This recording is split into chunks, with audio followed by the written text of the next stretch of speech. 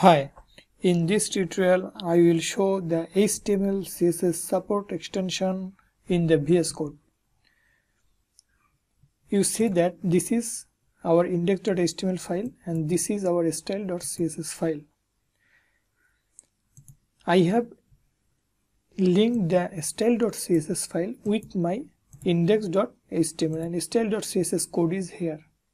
Red one, one color, red to another color, green, blue, four colors okay?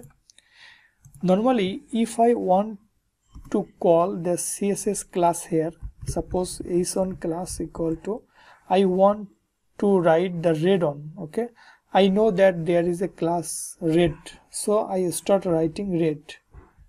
You see that there is no suggestion comes but if you install the html css support I am going to install here HTML CSS support. Suppose this one HTML CSS support. Go and install it. It is installed. Then you see that if I start writing red red re then you see that all the classes that are written in the HTML style.css will loaded here.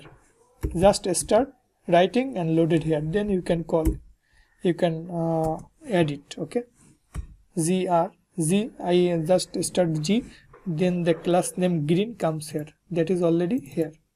So in this way you can do your programming and make it easier